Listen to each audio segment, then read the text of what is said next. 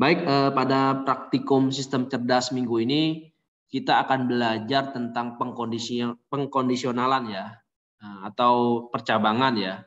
Jadi kasusnya seperti ini ya. Saya punya beberapa atribut di mana atribut-atribut ini eh, nanti tujuannya adalah untuk melakukan keputusan ya, apakah si mahasiswa ataupun calon mahasiswa ataupun calon penerima beasiswa ini diterima atau ditolak. Jadi eh, si mahasiswa ini mengajukan beasiswa. Nah, nanti sistem ini akan mendeteksi kira-kira si calon penerima beasiswa ini diterima apa ditolak persyaratannya. Nah, ini persyaratannya seperti ini ya. Jadi saya punya atribut, ada status orang tua, ada IPK, ada penghasilan eh, wali ya, wali orang tua atau wali ya, wali. Nah, kalau misalkan ternyata status orang tuanya, mahasiswanya atau calon pengaju beasiswanya masih hidup, maka statusnya satu dan ternyata dia otomatis ditolak oleh sistem. Jadi kalau misalkan orang tuanya masih hidup, ya udah berarti dia otomatis ditolak oleh sistem. Nah, namun kalau misalkan statusnya orang tuanya sudah meninggal ya, sudah meninggal, artinya statusnya sama dengan nol, maka dia akan melakukan pengkondisional lagi, mengecek atribut kedua, yaitu IPK. Nah, kalau IPK-nya ternyata di bawah tiga, maka otomatis sistem akan memberikan keputusan bahwa si calon ini ditolak gitu ya, ditolak gitu ya, ditolak. Nah, namun kalau misalkan ternyata IPK-nya di atas tiga atau sama dengan tiga ya, jadi tiga itu termasuk ya, dia akan mengecek penghasilan e, walinya. Kalau ternyata penghasilan walinya lebih dari satu juta per bulan, maka dia ditolak.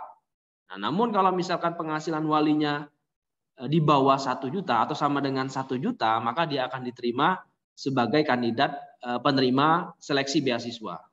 Jadi atributnya ada status orang tua, IPK dan penghasilan wali ya, wali ya. Jadi kalau orang tuanya sudah meninggal, kemudian IPK-nya di atas tiga atau sama dengan tiga dan penghasilan orang tuanya eh, lebih kecil atau sama dengan ya sejuta maka dia otomatis diterima sebagai kandidat eh, seleksi penerima beasiswa.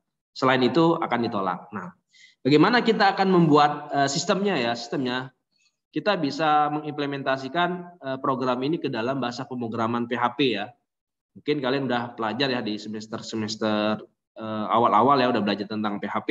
Nah, kita akan belajar membuatnya ya, bagaimana sih membuatnya sebuah sistem di mana datanya misalkan ada ribuan ataupun ratusan ribu, jadi otomatis sistem yang akan menseleksi ya kira-kira si calon kandidat mahasiswa ini diterima apa ditolak gitu ya. Kalau secara manual kan lumayan capek kan. Nah, kalau misalkan dengan sistem ya otomatis gitu menseleksi ya kira-kira diterima atau ditolak. Nah, untuk praktikum minggu ini ya ya ini ya Baik, uh, saya akan coba mempraktekkan ya. Nanti kalian coba praktekkan di di laboratorium ya. Nah, kita akan menggunakan bahasa pemrograman PHP di sini ya.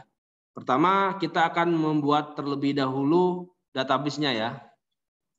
Nah, di sini saya punya database namanya prak1 underscore sistem cerdas.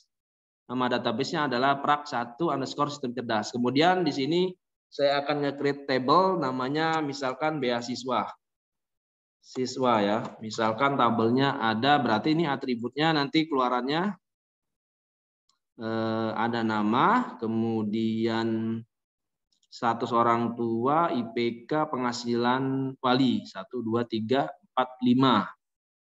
Ada 5 ya, saya masukkan 5. Berarti jumlah kalemnya ada 5. Di sini nanti ada ID-nya, ini kita buat auto increment aja ya, auto increment. Ini sebagai primary key-nya. Go auto increment. Kemudian ada nama mahasiswanya. Nama mahasiswa saya buat tipenya adalah varchar ya. Varchar saya anggap aja 100. Kemudian saya punya status orang tua ya, status status ortu. Orang tua ini saya gunakan status ya enum ya enum. Kalau nggak satu ya nol. Kalau satu artinya dia masih hidup. Kalau nol berarti sudah meninggal. Kemudian ortu statusnya kemudian IPK ya IPK IPK saya double saja ya di sini ya double double. Kemudian saya buat lagi penghasilan wali. Penghasilan, aja ya, entah orang tua atau wali. Penghasilan ortu wali. Nah, misalkan saya buat tipenya uh, big integer aja ya. Atau integer aja lah untuk sementara ya. Integer, misalkan saya anggap aja 100. Oke, saya create ya. Di sini saya save. Oke, ini udah ke create ya. Eh, field feednya ada ID, nama mahasiswa, status orang tua, IPK, penghasilan orang tua wali. Oke, kita coba insert ya. Kita insert eh, melalui ini. Namanya misalkan Alif Alif Dharma. Status orang tuanya eh, kita ngasal aja misalkan satu, IPK-nya misalkan 3,01 penghasilan walinya misalkan eh, 2 juta itu 23 oke go kemudian kita insert lagi misalkan Desi Ratna Desi Ratna orang tuanya misalkan sudah tidak ada lagi tapi IPK-nya misalkan 2,60 penghasilan orang tuanya misalkan 500 ribu satu, dua, tiga. Oke.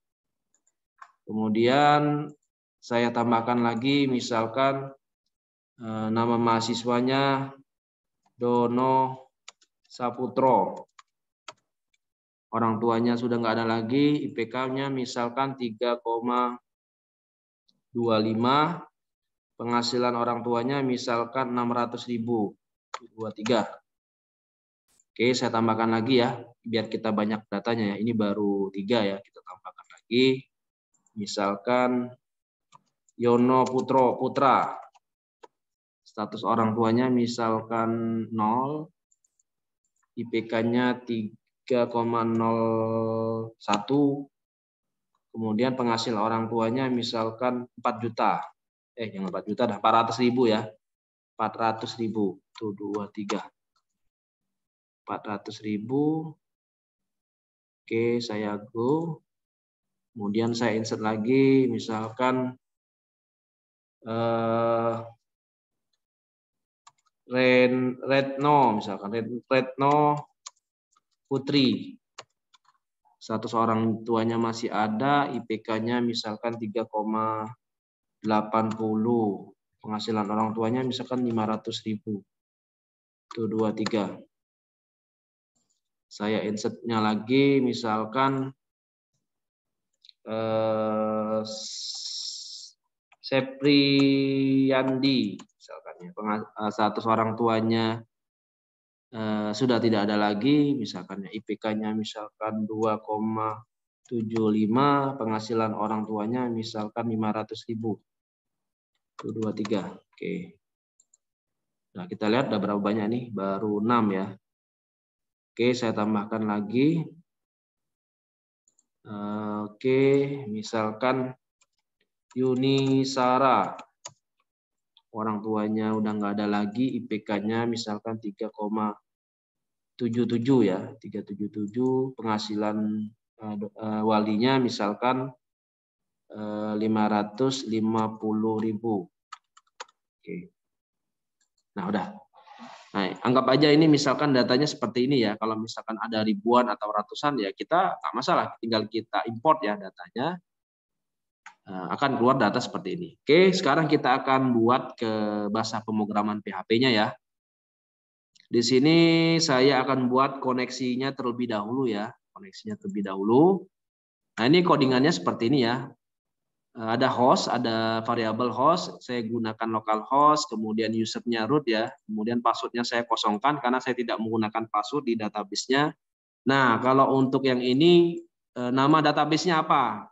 Karena nama database saya adalah prak1 underscore sistem cerdas, maka di sini juga saya sesuaikan dengan nama database yang saya buat, prak1 underscore sistem cerdas. Kemudian di sini saya akan membuat variabel namanya koneksi ya, Nah, di sini saya gunakan MySQLi Connect ya. Hostnya, usernya, passwordnya, DB-nya. Nah, kalau misalkan ternyata tidak terhubung, misalkan salah satunya ada yang salah ya, maka database MySQL tidak terhubung. Contohnya misalkan passwordnya salah gitu ya, atau kan usernya salah gitu, atau nama database-nya salah gitu ya. Nanti dia akan menampilkan ini gitu. Database MySQL tidak terhubung. Namun kalau misalkan sesuai ya valid, maka dia akan akan eh, akan akan berfungsi ya, database-nya akan bisa dipanggil gitu ya. Oke, ini koneksinya. Kemudian saya akan buat uh, file baru minggu 1.php ya untuk menampilkan apakah si mahasiswa ini diterima atau ditolak. Oke. Di sini HTML biasa ya seperti ini. Ada body, kemudian ini sistem seleksi beasiswa, saya gunakan tabel nomor sama nama. Nah, di sini saya include koneksi.php. Nah, koneksi.php ini adalah nama file ini, koneksi.php. Kemudian di sini saya gunakan query ya, Query di sini adalah select bintang from beasiswa. Nah, beasiswa ini adalah nama tabel yang saya panggil di sini, tabel beasiswa. Beasiswa, kemudian yang saya panggil baru nama underscore mahasiswa. Nama underscore mahasiswa, berarti dia akan memanggil ini. Nah, ya, manggil. Kemudian eh, kemudian saya apa namanya tampilkan ke dalam bentuk tabel ya seperti ini. Kita lihat ya hasilnya dia akan menampilkan nama mahasiswa. Nah, seperti ini. Nah, kemudian kita panggil lagi ya field status ortu ya, status ortu kita taruh dulu di ininya judulnya ya, status ortu, status orang tua. Status status orang tua. Di sini kita panggil ya, statusnya, nama fieldnya kita lihat. Nama fieldnya adalah status underscore ortu. Status under, status underscore ortu. Kemudian kita panggil apa lagi IPK ya, IPK dan penghasilan orang tua atau wali. IPK IPK IPK kemudian status kan status ya penghasilan ya penghasilan orang tua atau wali. Penghasilan orang tua atau wali. Atau wali. Kalau misalkan orang tuanya sudah tidak ada lagi berarti wali gitu ya. Oke kita panggil lagi fieldnya. Ini disesuaikan dengan database ya. Status ortu kemudian di sini IPK ya. IPK Kemudian di bawahnya penghasilan ortu wali. Penghasil, penghasilan ortu wali. Coba kita lihat ya tulisannya benar nggak ya. Kalau dia salah dia akan terjadi error ya. Penghasilan penghasilan ortu wali sama ya. Nah, coba kita tampilkan ya apakah muncul. Kita coba. Nah, nampil ya seperti ini ya. Nah, eh, untuk penghasilan orang tua kalau misalkan eh, mau menampilkan pecahan ya, pecahan ya, bentuk dalam bentuk apa namanya itu format, format number, kita bisa menggunakan number format di sini. Number format yang ini ya, number format. Kemudian misalkan dua angka di belakang koma misalkan atau apa gitu ya. Itu bisa. Nah, nanti tampilannya seperti ini. Nah, ini pakai koma koma koma. Nah, dua angka di belakang koma seperti ini. Misalkan saya buat di sininya RP ya, rupiah. Nah, seperti ini. Nah, RP spasi ya, kasih spasi.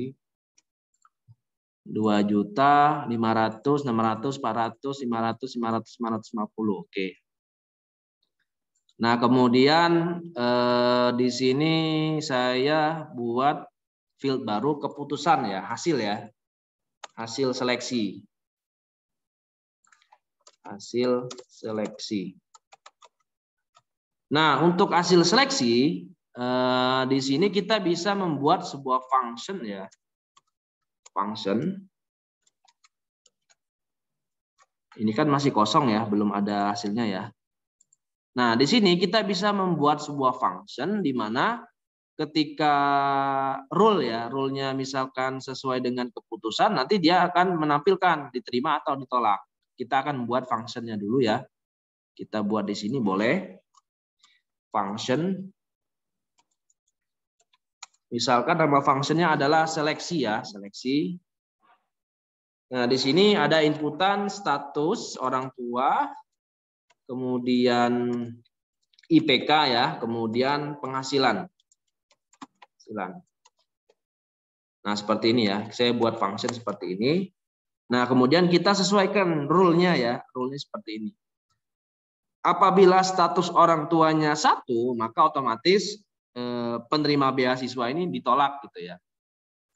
Berarti if if ya, if status sama dengan sama dengan satu, berarti artinya orang tuanya masih hidup ya maka Ejo ditolak ya, ditolak. Ditolak. Ya. Jika tidak Nah, jika tidak di sini dia ada kondisinya lagi nih. Di sini dia ada kondisi IPK. IPK kemudian penghasilan orang tua wali. Nah, kalau misalkan IPK-nya di atas eh di bawah tiga di bawah tiga, otomatis dia ditolak. Ya, kalau misalkan lebih dari atau sama dengan tiga, dia akan mengacu kepada penghasilan orang tuanya. Nah, jadi dia akan ngecek nih kalau yang kalau dia satu ya otomatis ditolak. Nah, tapi kalau dia statusnya nol, maka dia akan ngecek IPK-nya. Kalau dia di bawah tiga, oh ya udah berarti dia tolak. Kalau misalkan ternyata lebih dari sama dengan tiga, dia akan lanjut ke penghasilan orang tua atau wali. Ya, oke. Kita akan coba buat lagi ya, if, if lagi ya di dalam sini if, IPK, dia akan ngecek IPK. Jika IPK-nya eh, lebih dari ya, misalkan atau kurang dari ya, kurang dari sama dengan tiga, eh kurang dari tiga ya, tiga titik kosong kosong, maka ya otomatis dia ditolak ya, ditolak gitu ya, ditolak gitu ya. Else jika tidak, jadi kalau dia di bawah tiga, ya udah otomatis ditolak. Tapi kalau misalkan ternyata IPK-nya lebih dari atau sama dengan tiga, maka dia akan ngecek kondisi penghasilan orang tua. If lagi di sini, if dia akan ngecek penghasilan di sini. Penghasilan. Apabila penghasilannya eh, ternyata lebih dari kurang dari sama dengan satu juta, maka dia diterima. Jika tidak kok ditolak gitu ya. Kurang dari sama dengan sejuta ya. Itu dua tiga ya sejuta. Maka dia akan diterima. Terima. Jika tidak, dia akan ditolak. Ejo ditolak. Nah, ini fungsinya udah kita buat ya. Dia akan ngecek status terlebih dahulu, kemudian dia akan ngecek IPK-nya, kemudian dia akan ngecek penghasilan ya, penghasilannya gitu ya. Kemudian kita akan panggil ya function ini ke kolom ini ya. Kita panggil PHP nama functionnya. Seleksinya huruf besar ya sebentar saja oh huruf kecil. Seleksinya huruf kecil. Kemudian kita masukkan fieldnya di sini. Fieldnya itu berarti eh, pertama adalah eh, status orang tuanya kemudian IPK ya IPK Kemudian yang terakhir itu adalah penghasilan orang tua, orang tua wali ya. Orang tua wali gitu ya. Nah, seperti ini. Nah, coba kita tampilkan ya. Apakah Nah, dia otomatis ya. Jadi kalau yang pertama hasilnya adalah ditolak. Kenapa ditolak? Karena status orang tuanya masih hidup ya, otomatis ditolak. Yang kedua, status orang tuanya sudah meninggal, tapi IPK-nya IPK-nya di bawah dua di bawah tiga. otomatis ditolak juga. Kemudian si Dono, Dono orang tuanya sudah nggak ada lagi, IPK-nya bagus, IPK-nya bagus. Kemudian penghasilan si walinya itu di bawah satu juta, ya otomatis si Dono ya diterima gitu ya, diterima. Kemudian Yono, Yono juga sama, eh, orang tuanya sudah nggak ada lagi, IPK-nya di atas tiga ya, di atas lebih lebih besar atau sama dengan tiga, penghasilan orang tuanya, eh walinya sorry ya, walinya itu 400 ribu per bulan, maka dia diterima. Retno orang tuanya masih hidup ya sudah ditolak gitu ya. Sep Priandi orang tuanya sudah meninggal. Namun IPK-nya di bawah tiga. Maka dia ditolak. Kemudian Yunisara orang tuanya sudah meninggal IPK-nya bagus kemudian penghasilan walinya di bawah sejuta maka diterima. Jadi inilah ya eh, untuk praktikum minggu pertama ya bagaimana sih sistem ini mendeteksi penerima beasiswa ya, kira-kira dia ini diterima atau ditolak. Nah, seperti ini ya. Nah, ini. Dia akan ngecek uh, field fieldnya ya, kira-kira atribut mana sih uh, yang sesuai ya. Kalau misalkan ternyata kalau posisinya di sini ya ditolak. Kalau misalkan posisinya rule-nya ya, kalau statusnya nol, IPK-nya di atas sama dengan tiga dan penghasilan kurang penghasilan orang, orang wali ya, walinya kurang dari sama dengan sejuta, maka otomatis diterima. Nah, inilah ya eh, untuk praktikum minggu ini ya, silakan dicoba dan dipraktekkan ya. Jadi eh, saya buat database-nya dulu ya di sini seperti ini. Nah, kalau misalkan mau lebih banyak ya silakan ditambahkan aja. Misalkan ada ada 20 data gitu ya atau misalkan 30 data ya silakan gitu ya. Semakin banyak data semakin bagus gitu ya. Kemudian setelah itu buat koneksinya ya seperti ini. Setelah buat koneksinya baru kita buat untuk menampilkan si datanya ya. Datanya seperti ini. Kemudian saya buat functionnya di sini, function seleksi, seleksi. Kemudian saya panggil di sini. Nah, seperti ini. Tinggal ini atributnya. Ini jangan ketukar ya. Kalau misalkan IPK-nya di sini, kemudian status orang tuanya di sini, maka hasilnya akan kacau gitu ya. Karena ini posisinya ini status dulu, baru IPK, baru penghasilan ya, status di sininya. Nah, kalau ini kebalik boleh nggak Pak? eh, IPK dulu status boleh, tapi di sini juga ketika mau dibuat seperti itu itu juga dibalik gitu ya. IPK dulu baru status orang tua gitu ya. Untuk field nilainya gitu ya. Gitu. Ya silakan dicoba dan dipraktikkan ya untuk praktikum sistem cerdas minggu pertama.